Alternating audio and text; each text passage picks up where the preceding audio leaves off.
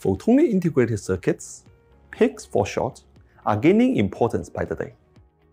Having experience in testing these devices is a skill that is in high demand in photonic industries. If you would like to know the ins and outs of PIC device testing, you are in the right place. This class is the first in a sequence to discuss PIC testing, and it focuses on characterization of passive photonic devices and circuits.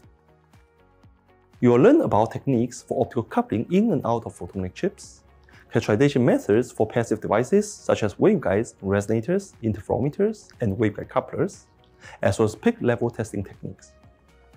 The class will cover both basic theories underlying the measurements, as well as latest advances in new photonic testing technologies.